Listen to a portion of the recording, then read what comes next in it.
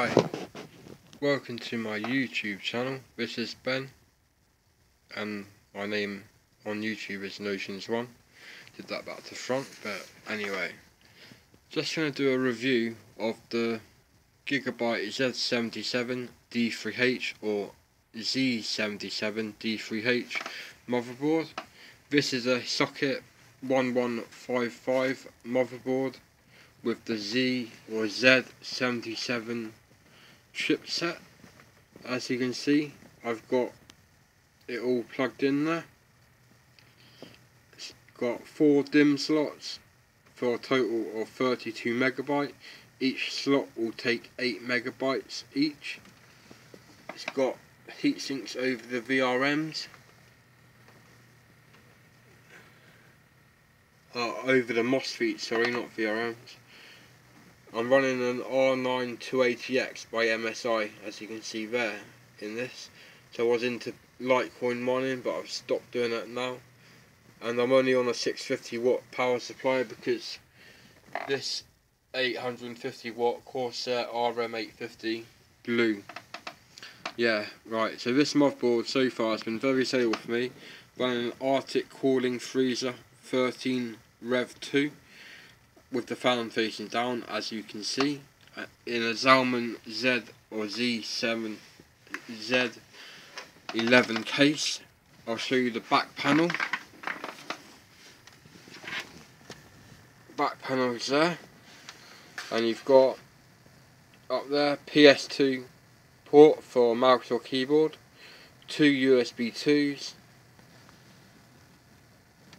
USB 3 VGA DVI that's covered up so I haven't taken the blanking plate off. HDMI which I still haven't taken the blanking plate off because I don't use them. USB 3 two USB 2s here that are plugged in. Ethernet port there. Onboard sound with the green plugged in. This is plugged straight into my amplifier which is up there an Onkyo A9155 in silver.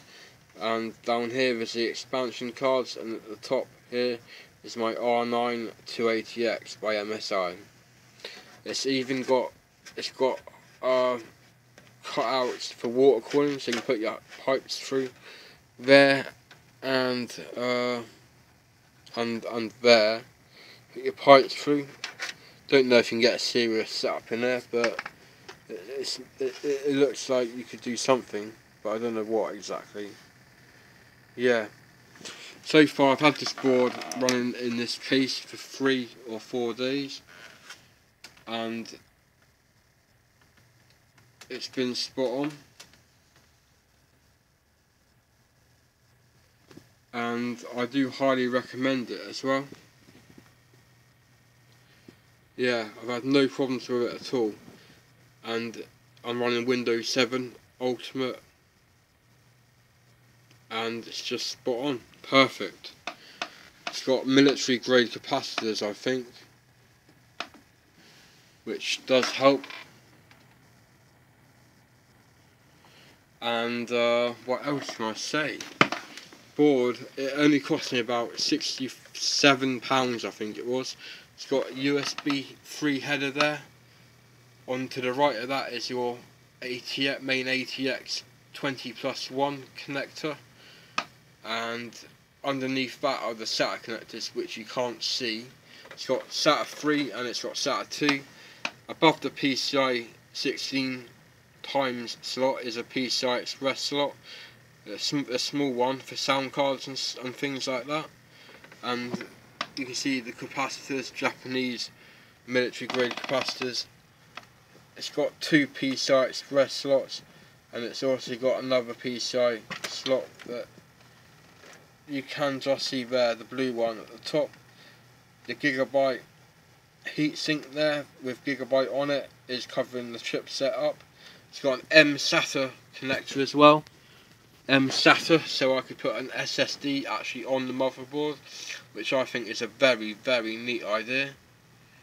And the 12 volt is at the top left which is in a bit easier place than right at the top so I can actually get to it there. It's an 8 pin 12 volt on this board. Uh, I think it's got support for FT, uh, S/PDIF, but yeah, it's got an S/PDIF, diff out on the very left hand side at the top next to the black connector out. It's S/PDIF. Running three hard drives in it, one terabyte, 500 gig, and a 60 gig OCZ Agility 3 solid state drive. The, the two hard drives are both Samsung. I like Samsung hard drives. Samsung's a very good make. Uh, what else?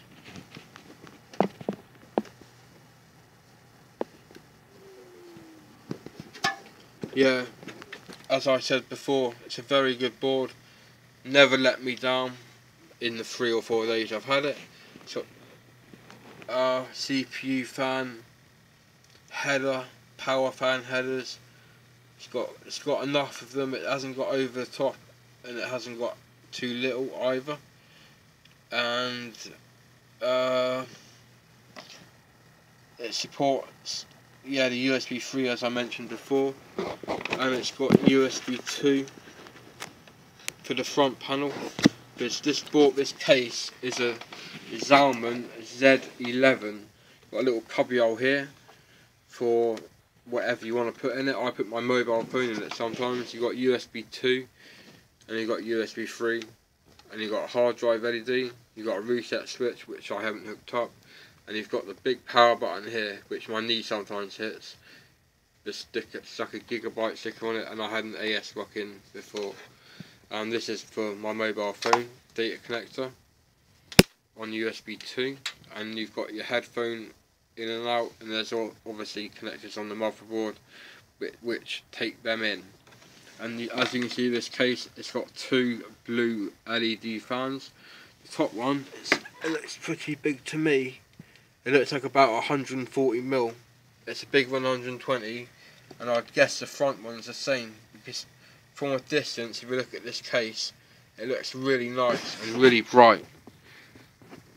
And I'm just waiting to, to get that old, so not old, but the, the, the Corsair power supply sent back and get a new one and then put it in this computer.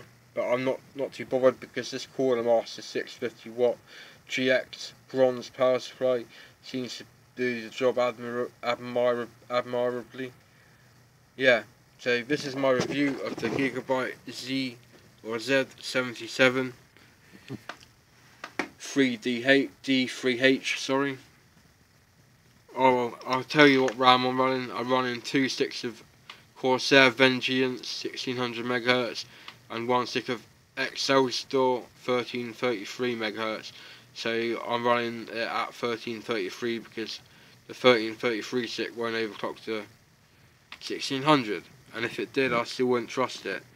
Anyway, I think I'll end this video now because it's getting a bit long and hope you enjoy it. I recommend this board to anyone with a socket 1155 CPU or if you haven't got one you could buy an Ivy Bridge and make a cheap setup. A solid, stable, cheap setup for not much money. Anyway, please like, subscribe, rate, comment, do what you want. I hope you enjoyed watching this video. If you have, do what I just said and thank you for watching and have a nice day or a nice evening. Goodbye and goodbye.